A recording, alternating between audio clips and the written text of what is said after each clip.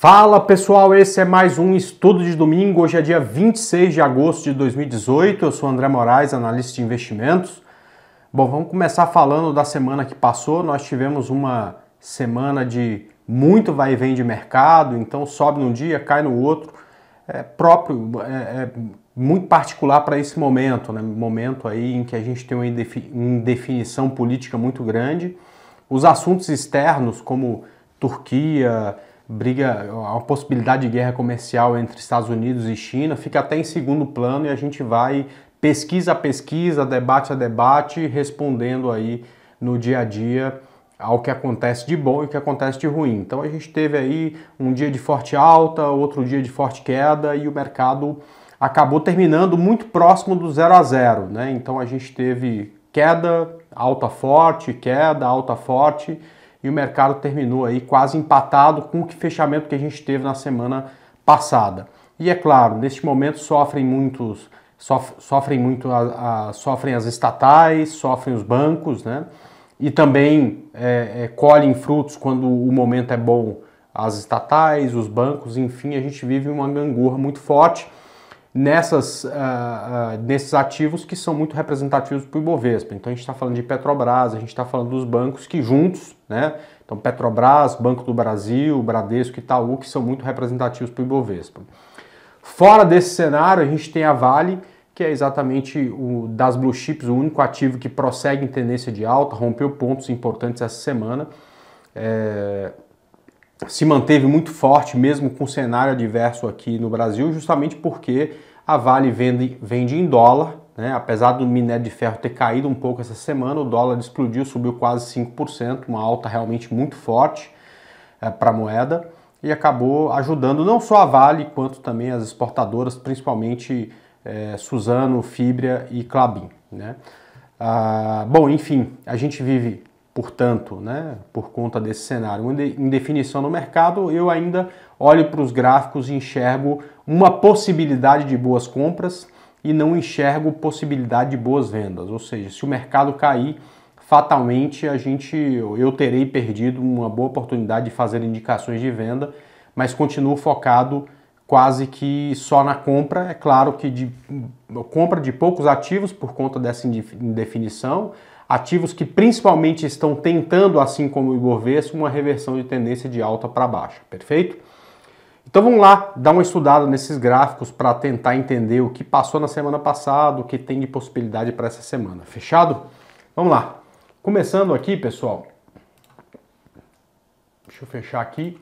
Falar do Embov, né? A gente comentou para vocês que a gente viveu uma gangorra, né? Então, segunda, Terça caiu forte, quarta subiu forte, quinta caiu forte, sexta-feira subiu um pouquinho e acabou terminando a semana muito perto aí do fechamento da semana passada, né? Então a gente não teve uma definição muito forte de tendência, mas essa semana serviu para que a gente tivesse uh, o difusor cruzado para cima, né? Então mais uma vez a gente tem um indício de que é, talvez a gente tenha uma possibilidade maior de alta de mercado do que de queda e, portanto, eu sigo apostando na compra, como eu falei.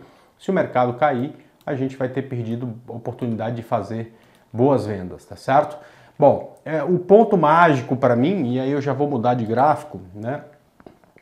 Vou colocar nesse gráfico aqui, o ponto mágico para mim, para que a gente consiga né, é, entender e, e, e capturar um pouco melhor uma possibilidade de alta do mercado é o rompimento da máxima de quinta-feira. Se eu colocar num gráfico de 60 minutos para a gente observar, esse ponto fica até muito mais visível, ou seja, vai ser o ponto em que a gente tem uma configuração de alta no gráfico diário. Deixa eu mudar de gráfico. Bom, beleza, vamos lá. É, é, é a região aqui no Ibovespa de 77.260, né? Quando a gente tem uma possibilidade de alta no mercado, no, no, no gráfico diário, e quando a gente tem essa mesma possibilidade de inverter algo que a gente vem vivendo, né, é, de topos e fundos descendentes para uma condição de topos e fundos ascendentes. Então, o que a gente tem hoje no Ibovespa é isso. Né? Então, se a gente tiver o rompimento desse topo aqui, nós teremos uma condição diferente do que vínhamos tendo durante toda essa queda. Nós teremos um fundo mais alto que o anterior, né? então está aqui, e um topo aqui mais alto o anterior, tá certo? Tudo isso que a gente está falando acaba perdendo sentido se o mercado, a partir de amanhã, vier e romper esse fundo anterior, porque aí prossegue a tendência de baixa. E aí é o que eu falei, né? Se isso acontecer, ou seja, se esse fundo for rompido, essa região um pouco abaixo de 75 mil pontos, nós talvez perderemos uma boa oportunidade de fazer venda, mas eu estou muito bem resolvido em relação a isso. Eu não olho para os gráficos e enxergo essas vendas, tá certo? Porém, se o mercado ganhar força e romper esse topo, a gente pode ter boas oportunidades de compra. Eu até entendo que as melhores oportunidades poderão vir durante a semana. Então já me comprometo, se o mercado romper topo e novas oportunidades vi, vierem, né, de fazer um vídeo adicional a esse estudo de domingo, que vai receber o nome de estudo de domingo complemento, né, é, falando de outras oportunidades. Hoje, as oportunidades que estão no gráfico, vou apresentar para vocês em seguida, são oportunidades principalmente né, em ativos que a gente, é, tirando com exceção talvez aí de, de Bradesco e Ambev, que são ativos que a gente está sempre uh, observando, são ativos um pouco mais fora desse contexto das blue chips e que tem gráficos muito bonitos, perfeito? Então vamos lá.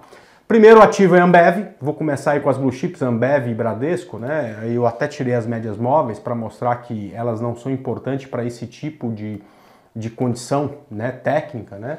É um, um, ativo que fez um fundo aqui embaixo, subiu numa onda 1, corrigiu numa onda 2 e tem uma possibilidade de fazer uma onda 3 para cima. Então eu estou é, fazendo uma indicação de compra no rompimento de 19,30 desse ativo, com stop abaixo de 18,56 e um alvo nessa região de 21,54, tentando capturar né, é, esse movimento aqui. Então a gente teve movimento 1, movimento 2 e se vier uma reversão de tendência, eu espero que ela seja forte o suficiente para chegar no alvo que eu imagino para operação, que é exatamente R$ 21,54, tá?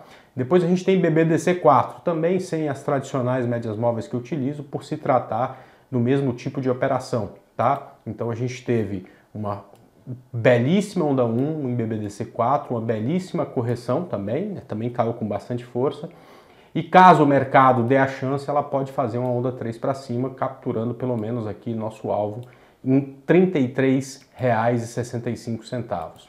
Depois a gente tem FESA 4, né, que não se trata simplesmente de uma operação de reversão de tendência, mas sim de um rompimento de uma linha de tendência que pode ser traçada aqui nessa região. Ou seja, o rompimento desse ponto aqui já me deixa muita vontade para falar na operação de compra, mesmo ainda tendo um pouco como resistência essa linha, né? ou seja, rompimento de 19,98, 20 reais, com stop abaixo de 18,92, com alvo em 23,17. Quarta ativa é Goal 4, a gente já falava dela duas semanas atrás, ela perdeu um pouco de força, voltou a subir, deixou um fundo aqui nessa região. Se romper essa linha de tendência também aqui, né, traçada aqui nesse ponto, né, ou seja, já perto do preço que ela tem hoje, também esse topo anterior, eu entendo que tem uma boa possibilidade de compra no rompimento de 8,02, com stop abaixo de 7,50 e um alvo aqui em R$ 9,59. Já falamos de HGTX3 há duas semanas atrás, né? Tem muita gente que já comprou ela no rompimento de 16 por conta de um rompimento de uma linha de tendência aqui que veio aqui de baixo. Ela continua muito bonita, eu entendo que para quem não entrou existe uma bela, mais uma boa oportunidade no rompimento de 16,41 com stop abaixo de 15,50 e um alvo em R$19,14. e 14 centavos. E para finalizar, a gente tem JHSF3, este é um ativo para se colocar pouco capital, porque tem uma forte volatilidade, um preço baixo, enfim, né? Então tem que tomar cuidado com o capital que vai colocar no ativo. No rompimento de 1,27 eu enxergo uma boa oportunidade de compra com stop abaixo de 1,17 e o alvo lá perto do 1,60, 1,58 também uma operação que seria uma operação de reversão de tendência, perfeito? Em relação à semana que passou, né, a gente teve três ativos que a gente falou aqui que deram entrada. Eu vou começar aqui falando de Sula 11, a gente teve uma entrada no ativo, deixa eu colocar aqui no outro gráfico, porque esse aqui está com preguiça, vamos lá. A gente teve aqui Sula 11, né, é, é um ativo que é, tinha aqui uma possibilidade de rompimento aqui nessa região, né, de 22,75. A gente falou de compra em 22,76, ou seja, com um centavo de ganho aí terminou o ativo na semana. Outro ativo, esse foi show de bola, foi o ativo que subiu. A gente tinha uma entrada programada aqui para esse rompimento, né? E ele terminou ah, com cerca de 4% acima disso. E por sinal, né, na contramão aí dessa, dessa possibilidade é, de alta, né, a gente teve CARD 3 que teve aí um rompimento dos 2,732 e acabou voltando um pouco. Então, a, a, o desempenho da semana passada, do que a gente conversou com vocês, tem algo, tem um retorno parecido com o retorno do Ibovespa, ou seja, ficou perto do zero a zero. A gente espera que essa semana seja uma semana uh, de maior definição dessa tendência e, repetindo, se for para baixo, a gente uh, vai fazer venda no day trade somente, porque para o swing trade os gráficos não estão bonitos. Uh, e se for para cima, a gente vai aproveitar essas oportunidades que já existem e, claro, se aparecerem outras, como eu falei mais cedo, eu faço um complemento desse vídeo falando dessas novas possibilidades, perfeito? Eu espero que todos tenham uma ótima semana de negociação. Espero também voltar aqui domingo que vem para fazer mais um estudo de domingo. Um abraço, pessoal. Até lá.